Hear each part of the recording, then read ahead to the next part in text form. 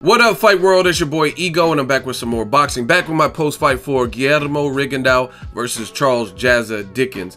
And it's not too much to break down with the fight. It ended prematurely. Rigondeaux had a single shot which landed flush and broke Charles Dickens' jaw. So, in between rounds two and three, it was about to commence round three, and Dickens' team decided that, hey, you can't continue like this because your jaw's broken. It's only going to get worse. So, they called a halt to the belt Rigondeaux wins by TKO. And I try to give the good, bad, and the ugly. Let me try to do it. It was a short fight, so it's not much to decipher and pick from. The good, Rigondeaux is back, and you clearly see the level of skill and why people moved out of their weight division not to fight him. Guys like Leo Santa Cruz, guys like Carl Frampton, guys like Donaire after he already lost. But I give props to Donaire because at least he fought Rigondeaux and took the fade and took the L, and then he moved out. Doesn't look like he wants a rematch. But this is why. I mean, he's a difficult style. His power's there. He has speed. He has reflex. He changes levels, and he's just a skillful fighter. On top of that, he's a southpaw and good poker face. The fights where he's been hurt and knocked down, he gets back up and he does have a mean streak. A lot of people, oh, he's boring and stuff like that.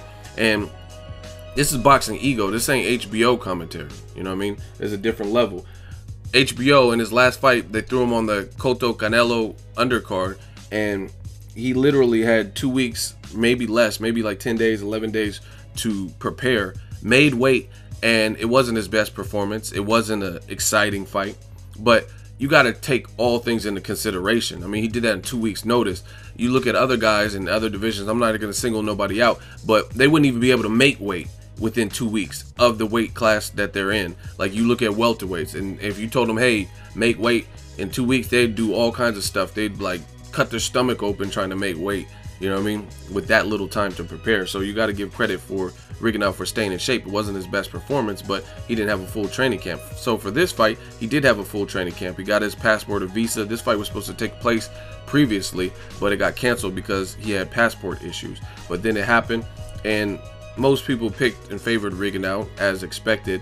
But this opponent, Dickens, was a southpaw as well, and that could be an advantage. You know what I mean? Instead of being the orthodox against the southpaw, Rigondeaux did did what he had to do, broke the dude's jaw, and somehow I'm I'm I haven't really because I'm doing this promptly. This video I just the fight just ended. I think people, some people like dumb fans, casuals, will find some way to blame Rigondeaux for a boring fight or a second round fight. He broke the dude's jaw. You wouldn't blame Josesito Lopez for breaking Victor Ortiz's jaw. So that's just nonsense. The bad, um, not really anything bad for Rigondeaux. The first round was a filler round, but he, I thought he did the better work. I mean, he just, he's, he's kind of economical picking his spots. And then the second round, he landed a huge flush punch that sent his opponent back. Dickens tried to respond, but nothing Dickens landed was better than what Rigondeaux landed with that big shot, which is obviously apparent because he broke the dude's jaw with that single shot, right? And the one of the bad things is I love the UK. I love the British. I used to live in England. For those of you who don't know, the UK boxing commentary is laughable. It's it's so funny. Sometimes the refereeing too, and I'm just keeping it all the way real. British boxing has a lot of champions. There's a lot of people I'm checking for that I like, but the commentary is egregious. Like the love that they show for their UK fighters in their commentary is blatantly, painstakingly obvious. Like they said, round two was level. How is it level when dude Rigondeaux landed a huge shot that jarred his opponent back? You know what I mean? That was better than anything Dickens did. Dickens looked tentative. So let's talk more about the bad. The bad for Dickens is I don't think in those two rounds he had the great game plan. A lot of people they're they become timid and gun shy, like Beko and Dickens and stuff. And it looked like early on, and I tweeted this so you guys can check it. It looked like Dickens realized he was after round one that he was in over his head. This was before the huge money shot that broke his jaw. It looked like he just realized it was like this dude's of a different class. And Rigondeaux barely even got started. He barely even began to open up and work and stuff like that. So the the UK commentary was egregious. They're saying round two was level. Dickens didn't even do anything, and he got his jaw broke, and that obviously called a halt to the bout, which they didn't know at the time. But it just shows you that commentary. I had both rounds for Rigondeaux, period. The they were trying to make it sound like Dickens was super competitive. He barely even threw anything. Rigondeaux had the better shots that he landed, even though he was being economical. His defense looked a bit better. I mean, there's no way you. It was a shutout, and then he got his jaw broke. Period. You know what I mean? So I don't understand the the UK commentary saying that round one was super close and um, round two was level. Like, how often do you see American or any other boxing judge from anywhere else call a level round? You know what I mean? Like Shawn Porter and Keith Thurman, there were a lot of rounds that were very close, and I still gave it to a person. You know what I mean? When's the last time you just watched it and you're like, man, it's an even round? You know what I'm saying? Doesn't happen too often. But one of the problems with Dickens that I notice is fighters like him, it seems like they they burn too much unnecessary energy. Like he's trying to move and feint and, and create some head movement, but he's not throwing with it. Like you, if you're doing that like a Mike Tyson, like to get into position, like doing that, burning energy, moving your head, whoo, you know what I mean, doing that, then that's effective. But if you're in place, not throwing shots, but you're using and exerting all this energy, then you're just burning wasteless, countless energy for no reason. So I think Dickens a better game plan for him since he was a fellow southpaw. Just establish a hard jab, keep jabbing. Most people that Rigondeaux fights at this division are a bit taller than him, maybe bigger than him, and things like that. So utilize that. Try to jab him, disrupt him, because you don't want Rigondeaux to get comfortable. If he gets comfortable, it's a wrap for you. And he's gonna give you different looks. Like I, I noticed Rigondeaux's a master black. He's a he's a master class boxer. I seen in round one he just just very subtle things and you probably don't notice if you don't appreciate the sweet science but came out with the high guard then he dropped the guard then he went back to the high like he, he's doing little subtle things like that to give you different looks and it makes it hard. And then all he does is he can accelerate from 0 to 60 and land that sniper shot on your chin. And i mean dickens took it but since he wasn't prepared for it he got his jaw broken.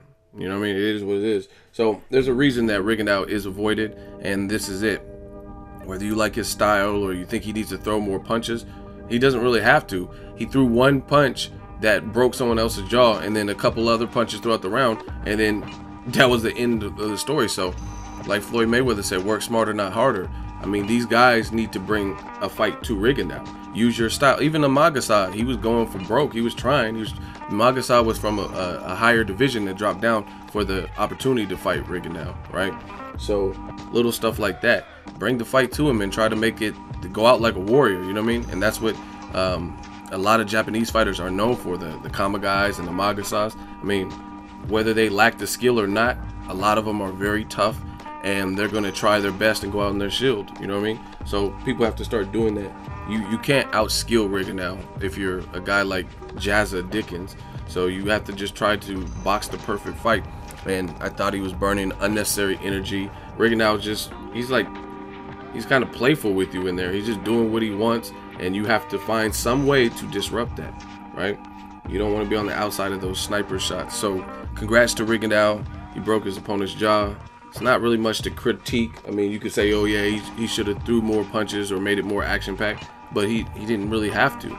Dickens was losing despite the UK commentary. So, props to Rigondeaux. He did his thing. On to the next one let me know who he should fight next. There should be some good fights out there. Hopefully, he can get a bigger fight. And it is what it is. But I mean, the dude is a problem clearly, and he's going to be like whether you think he's exciting or not. The the bottom line is nobody wants to rump with him. Nobody wants to get in that square circle with him. Very few people, right? And that's just what it is. Drop in the comment section. Let me know what you guys thought if you did watch the fight. Can't wait for Wilder versus Arreola. Sammy Vasquez is fighting and I'm gonna check all those fights out too and be back. Let me know what you guys think. Drop it in the comment section. Make sure you like the video as always. Hate, comment, and subscribe. Till next videos, Ego signing off. So if you enjoyed this video and want more content like this on the channel, you can show your appreciation by going to the PayPal donate button or the YouTube support button, and you can donate any amount that you feel is equivalent to the value of this video. Much more to come. Thank you guys for your support. Boxing Ego, the future of boxing.